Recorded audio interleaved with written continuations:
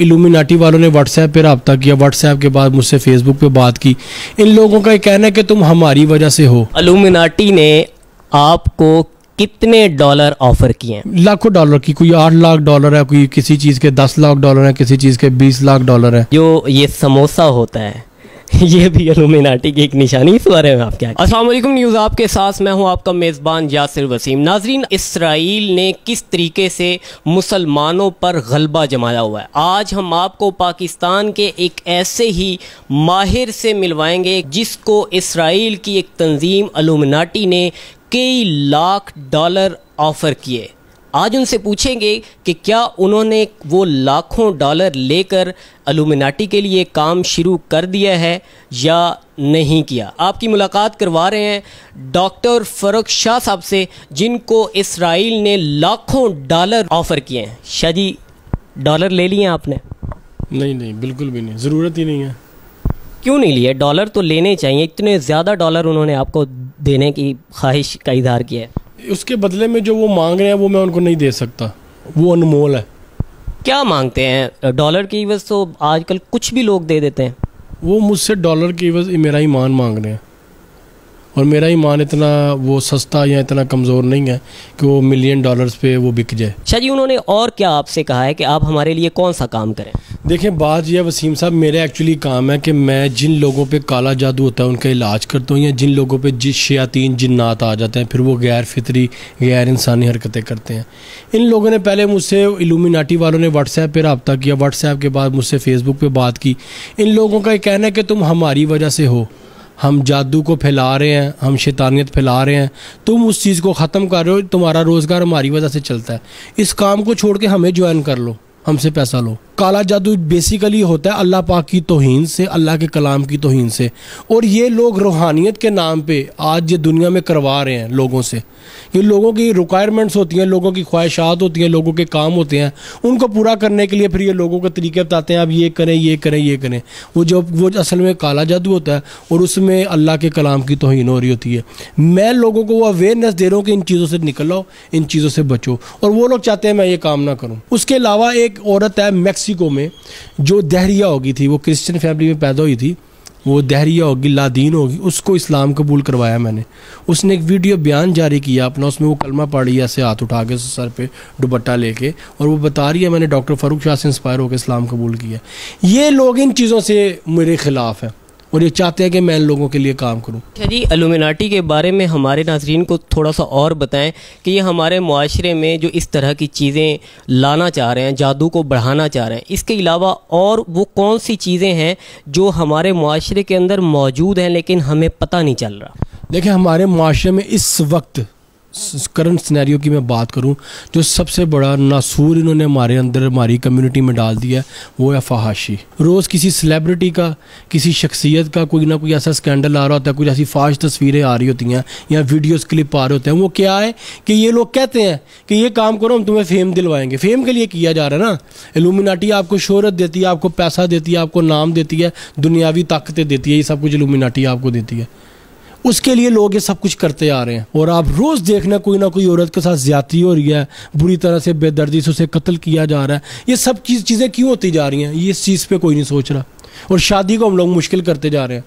और कोई भी रिलेशनशिप है आजकल, आप देख लें, कोई भी लड़का लड़की है, पहला उनका काम ही होता जी फ़िज़िकल होना है हमने।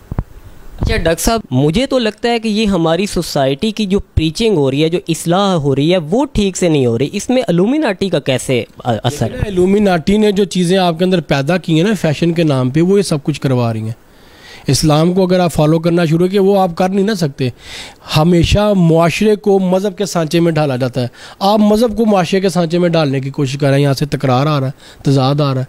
औरत मार्च में एक बाबा जी थे, कराची के मज़र नाम था या मज़ाहिर नाम था, मेरे जहन में नया नाम नहीं, उनका आ रहा दो साल पहले। वो कहते हैं, जी, अठारह सौ समथिंग से पहले तो निकाह था ही नहीं। ये निकाह तो ये अभी इन लोगों ने शुरू किया मर्द औरत आज़ादी से रह सकते थे। फिर लाहौर का एक बाबा है, उसका है किसी अनकर ने इंटरव्यू किया, वो बाबा कह रहा है, जी आप, जो है वो बीवी के साथ ज़बरदस्ती नहीं, भाई, बीवी के साथ कौन ज़बरदस्ती करता है? इस रिलेशनशिप में ज़बरदस्ती आ कहाँ से गई? और अगर औरत को कोई प्रॉब्लम है, अगर उसका मूड नहीं है तो फिर आप मर्द को चार शादियों की इजाज़त दें ना। अल्लाह को आप नहीं सिखा सकते, वो मबूद है, वो खालिक है। उसने मर्द का मैकेनिज़्म बना दिया कि मर्द का ये ये जिसम है, उसकी ये डिमांड्स हैं, ये ये रिक्वायरमेंट्स हैं, मर्द ने इस तरीके से ज़िंदगी गुजारनी है। आपने उसको कैद कर दिया। जिस चीज़ को जितना दबाते हैं ना, उतनी तेज़ी से उछलती है। कुदरत का कानून है, साइंस का भी ये कानून है। ठीक है? आप लोग दबाते जा रहे हैं ना जिनसी ख्वाहिशात को। दबाते जा रहे हैं, निकाह अल्लाह ने उसका एक तरीका दिया, आप उसको दबा रहे हैं तो फिर वो जना तो फैलेगा। अल्लाह ने अगर मर्द को बैक वक्त चार औरतें और बांदियाँ जितनी मर्ज़ी रखने का हुक्म दिया है इट मीन्स के मर्द की इतनी कैपेसिटी अल्लाह ने बनाई है, और मर्द के अंदर ये चीज़ है कि वो एक औरत से सेटिस्फाई नहीं हो सकता। मैं नहीं मानता कोई ऐसा बंदा आके कह दे, जी, मैं शुरू से अब तक एक औरत के साथ हूँ, बकवास है, झूठ है। कोई भी ऐसा बंदा नहीं है। अच्छा जी एलुमिनाटी के बारे में मैं ये पूछना चाहता हूँ जैसे हमारे माशरे में मशहूर है कि जो ये समोसा होता है ये भी एलुमिनाटी की एक निशानी इस बारे में आप क्या कहते हैं मेरा इस पर जब इंटरव्यू आया था तो लोगों ने ये भी बात की कि जी आप ट्रायंगल को गलत कह रहे हो ट्रायंगल के बारे में बात कर रहे हैं तो फिर यहाँ पे समोसा बैन होना चाहिए। आपका समोसा ट्रायंगल पे बनता है। ट्रायंगल का लोगों को मतलब नहीं पता। ट्रायंगल तीन कोने हैं। पैदाइश ज़िंदगी मौत। तीनों कोनों का ये मतलब है। एक होने का मतलब है पैदाइश, एक का ज़िंदगी और एक का मौत। ये एक ट्राइंगल है। अच्छा समोसा, अब एक रवायत शायद आपने सुनी हो, इन्नी अमालू बिन नियात। अमाल का दारो मदार नीयतों पर है। आप जिस नीयत से, जिस सोच के साथ जो करते हैं उसका असर आप पे असल में होता है कि आपकी नीयत क्या है। समोसे के बारे में आपको कि जी, वो इलूमिनाटी का है तो वो फलाना है। यहाँ पे जो है ना, वाम, आदि इन चीज़ों की होगी कि हर चीज़ को ना चुटकला, मज़ाक बना के हवा में उड़ा देना। और मैंने इसके, इसी के जवाब में एक बात की थी कि आप इसके साथ खेलना शुरू करें स्टार्स ऑफ़ डेविड के साथ। जिसमें ये ट्रायंगल्स बने हुए हैं आपको पता चल जाएगा। अमेरिका में कुछ अर्सा पहले कुछ साल पहले एक बंदा अरेस्ट हुआ है एलुमिनाटी का मेंबर था उसका नाम था पेजाजू अलगाडियस आप गूगल पे यूट्यूब पे सर्च कर सकते हैं। उसको इन लोगों ने अरेस्ट किया अमेरिकन पुलिस ने जाके तो उसके घर के अंदर ये, ये स्टार्स ऑफ़ डेविड ज़मीन पर दीवारों पर उसके जिसम पे टैटू ये भवें उड़ी हुई कानों में ज़ुबान पर मुँह पे छल्ले छल्ले। अजीब सा जो इनका उलिया टिंड उसने कराई हुई और सर के ऊपर भी उसके ऐसे वो टैटू बने हुए थे। उस बंदे ने किया क्या था? अपनी माँ को रेप करके मर्डर किया था। ठीक है? और स्टार्स ऑफ़ डेविड उसके पूरे घर में हर जगह पे बना हुआ था।